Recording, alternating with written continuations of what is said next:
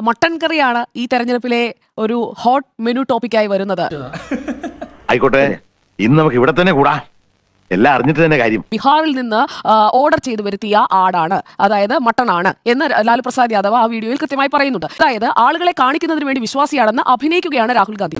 ആ എന്നിട്ട് എന്നിട്ട് എന്നിട്ട്?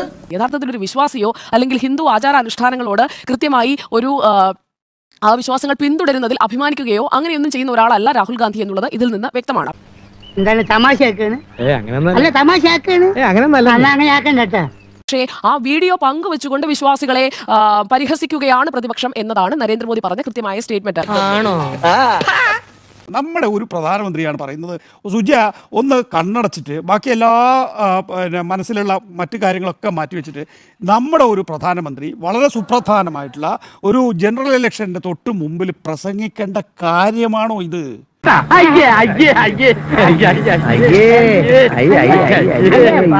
ആരോ മീൻ കഴിച്ചു എന്നാണ് പറയുന്നത് ആരോ മട്ടൻ കറി ഉണ്ടാക്കി എന്നാണ് പറയുന്നത് പ്രധാനമന്ത്രി പദത്തിൽ ഇരിക്കുന്ന ഒരാൾ സ്വയം അപമാനിതരാകുകയല്ലേ ചെയ്യുന്നത്? ആ അതൊന്നും എനിക്കറിയാൻ മേല. ഇങ്ങനെ എന്തെങ്കിലുമൊക്കെ പറയുമ്പോഴേ എന്റെ മനസ്സിനൊരു സന്തോഷം ഉണ്ടാവുള്ളൂ. ഞാൻ എന്റെ സന്തോഷം നോക്കിയാ പോരെ. മട്ടൻ കഴിക്കുന്നത് അല്ലെങ്കിൽ മട്ടൻ കഴിക്കുന്നതിന്റെ മട്ടൻ പാചകം ചെയ്യുന്നതിന്റെ ദൃശ്യങ്ങൾ ശ്രാവണ മാസത്തിൽ ലാലു പ്രസാദ് യാദവും രാഹുൽ ഗാന്ധിയും സോഷ്യൽ മീഡിയയിൽ അപ്ലോഡ് ചെയ്യുന്നത് മുഗൾ ഭരണ കാലഘട്ടത്തിലെ ചിന്താഗതിയാണ് എന്ന് ഒരു പ്രസംഗത്തിലെ മുഖ്യ വിഷയമായി എന്റെ പ്രധാനമന്ത്രിക്ക് ഉയർത്തി പറയണമെങ്കിൽ കുറച്ച് ബുദ്ധി ഉണ്ടായിരുന്നെങ്കിൽ മന്ദബുദ്ധി എന്നെങ്കിലും വിളിക്കായിരുന്നു. അതും ഇല്ലാതായി. മട്ടൻ കളി കഴിച്ചു ശ്രാവൺ മാസത്തിൽ അതുപോലെ തന്നെ ഈ തേജസ്വി യാദവ് മീൻ കഴിച്ചു. അത് അപ്ലോഡ് ചെയ്തു. അതൊരു മുഗൾ മനോഭാവമാണെന്ന് പൊതുയോഗത്തിൽ നിങ്ങളോട് തിരിച്ചു ചോദ്യങ്ങൾ ചോദിക്കാൻ കഴിയാത്ത ഒരു ജനവിഭാഗത്തിനോടാണ് പറയുന്നത് എന്നുള്ളതാണ്. പോയേ പോയേ. കയ്യിന്ന് പോയേ. ഒരു വൺ ടു വൺ ഇന്റർവ്യൂവിന് എന്തുകൊണ്ടാണ് പ്രധാനമന്ത്രിക്ക് മടി അല്ലെങ്കിൽ ധൈര്യമില്ലാത്തത്? എന്തുകൊണ്ടാണ് ഇന്ത്യയുടെ ചരിത്രത്തിൽ ആദ്യമായിട്ട് ഒരു പ്രധാനമന്ത്രിക്ക് ഒരു പ്രസ് കോൺഫറൻസിനെ അഭിമുഖീകരിക്കാൻ കഴിയാതെ പോകുന്നത്? അദ്ദേഹത്തിന് പറയാനുള്ള കാര്യങ്ങൾ ഇങ്ങനെ പുരപ്പുറത്ത് നിന്ന് കയറി വിളിച്ചു പറയുകയാണ്. അത് വർഗീയമായി വേർതിരിക്കുന്ന രീതിയിലാണ്. ആ നിലയിൽ വർഗീയമായി വേർതിരിക്കുന്ന രീതിയിൽ പ്രസംഗിച്ചാൽ പോലും നടപടിയെടുക്കാത്ത ഒരു തെരഞ്ഞെടുപ്പ് കമ്മീഷൻ നേരത്തെ സെറ്റ് ചെയ്ത് വെച്ചിട്ടുണ്ട്. അങ്ങ് പറഞ്ഞതുപോലെ ഇൻഫോർമൽ മീറ്റിംഗ് ഒന്നുമല്ല. അവർ വന്ന നയന്റി മിനിറ്റ്സ് ഇന്റർവ്യൂ എടുത്തിട്ട് അതാണ് പ്രസിദ്ധീകരിച്ചത്. അവർ പറയുന്ന എൺപത് ചോദ്യങ്ങൾ ഞങ്ങൾ ആദ്യം എഴുതി അയച്ചു കൊടുത്തു. എൺപത് ചോദ്യങ്ങൾ അയച്ചു കൊടുത്തതിന് ശേഷം അദ്ദേഹത്തിന്റെ ഓഫീസ് ആ എൺപത് ചോദ്യങ്ങൾക്ക് ഉത്തരം കൊടുക്കുന്നു. ഉത്തരം കൊടുത്തതിന് ശേഷം ഉള്ളത് പിന്നെ ആ ഈ പിന്നീട് തൊണ്ണൂറ് മിനിറ്റ് മീറ്റിംഗ് അവർക്ക് പ്രധാനമന്ത്രിയുടെ വീട്ടിൽ വെച്ച് കിട്ടി എന്നാണ് പറയുന്നത്. എനിക്കതിന് യോജിപ്പില്ല. ഞാൻ അതിന് യോജിക്കുന്നില്ല. വീട്ടിൽ വെച്ച് കിട്ടിയിട്ടുള്ളത് ഇൻഫോർമൽ ആയിട്ടുള്ള എന്തിനാണ്? അതിനകത്ത് ഈ പറഞ്ഞ ഞാൻ പറഞ്ഞ ഒരു തുടർ ചോദ്യങ്ങളില്ല. ഞാൻ പറഞ്ഞ രീതിയിലുള്ള ഏതെങ്കിലും തരത്തിൽ അല്ല. ഇങ്ങോട്ട് വന്നേ നീ. എന്നിട്ട് ഇങ്ങോട്ട് അസ്യൂം ചെയ്തല്ലേ നിങ്ങൾ ഒന്ന് ഈ പറയുന്ന ഈ ഇന്റർവ്യൂ ആയി ബന്ധപ്പെട്ട് വന്നിട്ടുള്ള റിവ്യൂസ് എല്ലാം നോക്കൂ. എന്തൊക്കെയാ ഇരുപത്തിയഞ്ച് കോടി തൊഴിലുകൾ സൃഷ്ടിക്കുമെന്ന് പത്ത് വർഷം കൊണ്ട് സൃഷ്ടിക്കുമെന്ന് പറഞ്ഞിരുന്നു. ഇരുപത്തിയഞ്ച് കോടി തൊഴിൽ സൃഷ്ടിച്ചോ? ഇതുമായി ബന്ധപ്പെട്ടിട്ടുള്ള എന്തെങ്കിലും ചോദ്യം ഉണ്ടോ? വല്ല കാര്യം ഉണ്ടായിരുന്നുടാ നൂറ് സ്മാർട്ട് സിറ്റികൾ വാഗ്ദാനം ചെയ്തിരുന്നു. എത്ര സ്മാർട്ട് സിറ്റികൾ സുജ പറഞ്ഞാൽ മതി. പ്രധാനമന്ത്രി ഒന്നും പറയണ്ട. എനിക്ക് പ്രധാനമന്ത്രി പറഞ്ഞ പോലെ തന്നെയാണ്. എത്ര സ്മാർട്ട് സിറ്റികൾ ഇവിടെ പൂർത്തിയായിട്ടുണ്ട്? അത് പിന്നെ ഇരുപത്തിയഞ്ച് കോടിയിൽ എത്ര തൊഴിൽ കൊടുത്തിട്ടുണ്ട്? ബ്ലാക്ക് മണി സ്വിസ് ബാങ്കിൽ നിന്ന് തിരിച്ചു കൊണ്ടുവരുന്നു പറഞ്ഞല്ലോ. ഈ എത്ര എത്ര ഒരു ഉറുപ്പ്യ കൊണ്ടുവരാൻ പറ്റിയോ? ഒരു ഉറുപ്പ്യ കൊണ്ടുവരാൻ പറ്റിയോ? ആ എങ്ങനെ ഇരിക്കണം എല്ലാ ആളുകൾക്കും അവരവരുടേതായ വിശ്വാസങ്ങൾ ഉണ്ടാകും ആചാരങ്ങൾ ഉണ്ടാകും അനുഷ്ഠാനങ്ങൾ ഉണ്ടാകും. അതവർ നേരത്തെ തൊട്ടേ പിൻപറ്റുന്നതാകും.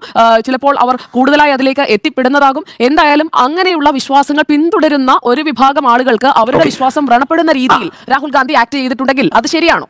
അതല്ലേ നരേന്ദ്രമോദി ചോദിച്ചത്. നിനക്ക് വേറെ പണിയൊന്നുമില്ല. എത്ര കിട്ടിയിട്ട് നീ എന്താ പഠിക്കാത്ത? പന്ത്രണ്ട് മാസങ്ങളിൽ ഓരോ മാസവും ഓരോ മതവിഭാഗത്തിന്റെ മാസങ്ങളായിട്ട് കണക്കാക്കിയാൽ നമ്മുടെ രാജ്യത്ത് ആർക്കും ഭക്ഷണമൊന്നും കഴിക്കാൻ കഴിയില്ല. നമ്മൾ ഭക്ഷണം കിടക്കേണ്ടി വരും. ഏതെങ്കിലും ഒരാൾ ഭക്ഷണം കഴിക്കുമ്പോൾ ആ ഭക്ഷണം ഏതാണെന്ന് അയാളുടെ വീട്ടിൽ കയറി റെഫ്രിജറേറ്ററിൽ കയറി നോക്കി ആ ഭക്ഷണം ബീഫാണെന്ന് കരുതി. മട്ടൺ കാണുമ്പോൾ അത് ബീഫാണെന്ന് തെറ്റിദ്ധരിച്ച് അയാളെ തല്ലിക്കൊന്നാലും അത് കുഴപ്പമാണ്.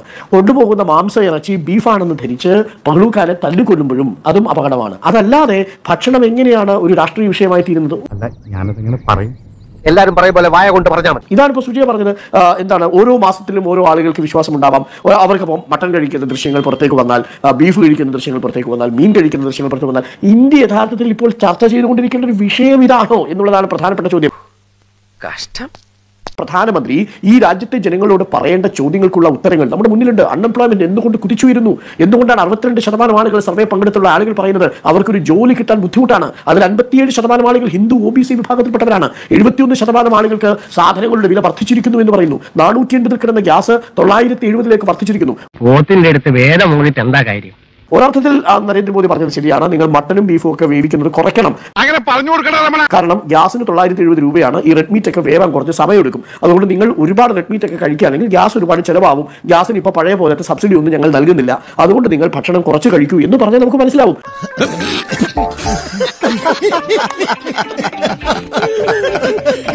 അതിന് രാഹുൽ ഗാന്ധി ശ്രാവൺ മാസത്തിൽ ബീഫ് കഴിച്ചു മട്ടൺ കഴിച്ചു ആ, തേജസ്വി യാദവ് നവരാത്രിക്ക് മീൻ പൊരിച്ചത് കഴിച്ചു അയില വറുത്തത് കഴിച്ചു എന്നൊക്കെ പറഞ്ഞു തുടങ്ങാനാണെങ്കിൽ നോക്കൂ സിഖുകാർക്ക് അവരുടെ മാസമുണ്ട്. ഗുരു നാനാക്കിന്റെ ഹിന്ദുക്കൾക്ക് ഒന്നിലധികം മാസങ്ങൾ വ്രതസൃഷ്ടിയുള്ള മാസങ്ങളുണ്ട്. അതൊക്കെ കാര്യമല്ല? കേരളത്തിലേക്ക് വന്നാൽ ശബരിമല അയ്യപ്പന്റെ മാസമല്ല ഈ പറയുന്ന ശ്രാവൺ മാസം. നമ്മൾ ചിങ്ങമാസത്തിൽ വ്രതാനുഷ്ഠാനം എടുക്കുന്നവരുണ്ട്.